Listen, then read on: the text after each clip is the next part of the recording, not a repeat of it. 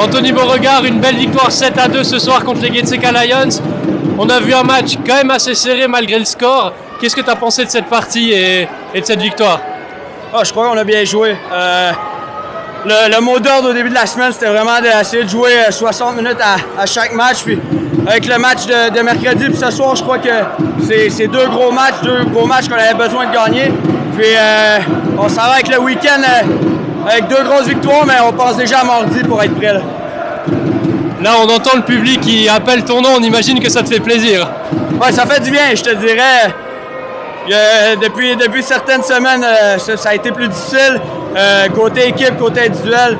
là, avec deux grosses victoires comme ça, on, a, le, moral à la bonne place. Puis, comme je te dis, on, est déjà prêt pour mardi. Ce soir, on t'a vu faire un très bon match devant ta famille en plus. Est-ce que c'était une motivation supplémentaire? Bah, C'est sûr que c'est le fun. Euh, j'ai pas eu la chance de les voir beaucoup euh, depuis les dernières années. Ça fait trois ans qu'ils n'ont euh, pas été en mesure de, me voir jouer un match. Puis le fait les avoir avec moi cette semaine, ça me fait du bien en dehors de la glace, mais aussi sur la glace.